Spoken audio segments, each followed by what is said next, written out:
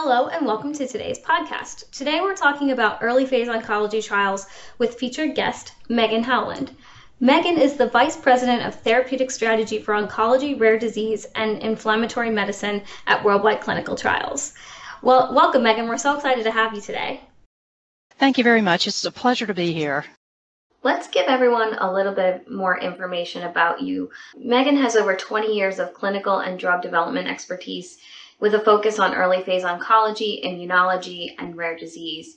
She also has over 25 years of experience across multiple other therapeutic areas, and this is just just the beginning of her experience, really. So, without further ado, Meghann, let's jump right into it.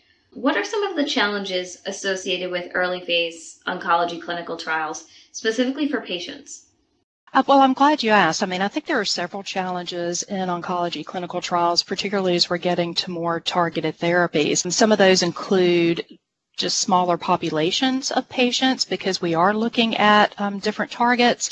Uh, the other thing that's particularly challenging is we still don't have great representation for a large group of patients for participation in oncology trials. So if you take a look at how many patients that actually participate, it's, it's less than 10% still. And a full two thirds of that population are the elderly, and sometimes you can see only 2 to 3% of that population, and, and, that's a lot of your clinical trial population for oncology.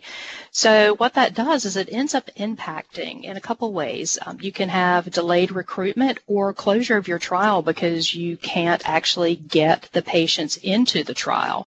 The other thing that's a bit of a challenge is we have issues sometimes with the clinical practice and the location of the trial center, meaning the catchment area of early phase clinical trials may be two to three hours away, and a patient that may be on their second or third line of therapy may not either have the resources to be able to get to the clinical trial site, or they may not want to spend that time, particularly where they are in their disease state, to go to that clinical trial site. So making sure that there is a patient centricity when you are designing your clinical trials and allowing those provisions and some innovative things in the community to where some of the routine testing, maybe they can go to their local physician office to eliminate some of the time that they may have to travel and spend at the major medical center. And a lot of this comes down to physician willingness to talk with their patient and participate in the clinical trial. You know, certainly the patient physician relationship is incredibly important, um, particularly as you're dealing with um, with a potentially a terminal illness.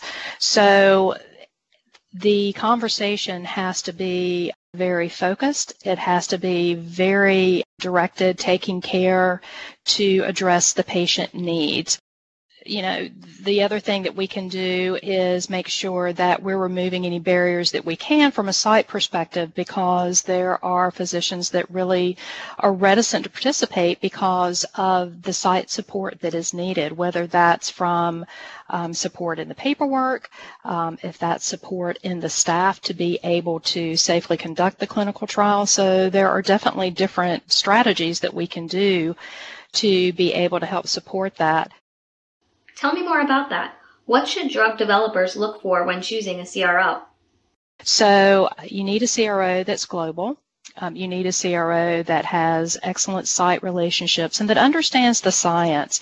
You know, for an early phase oncology population, it's incredibly important that you are on top of every single patient and that the sites are treated as partners and not as commodities and that you're working with these sites um, to be able to help them get what they need, whether it's um, additional support at the site, or whether it is regional support um, within the monitoring team or within the management team to help them be successful. So there's a flexibility, you know, there's a personalization aspect, there's a nimbleness, and then certainly um, understanding the science and what you're trying to achieve. Absolutely. Well, Meghann, thank you so much for coming to do a series of podcasts with us about early phase oncology trials. We're just getting started with this topic, and we will be releasing more from my interview with Meghann in the coming weeks everything from challenges, trends, CRO support, and everything in between. For more information about how worldwide clinical trials can help you during your early phase oncology clinical trial, click the link at the end of this podcast or visit www.worldwide.com.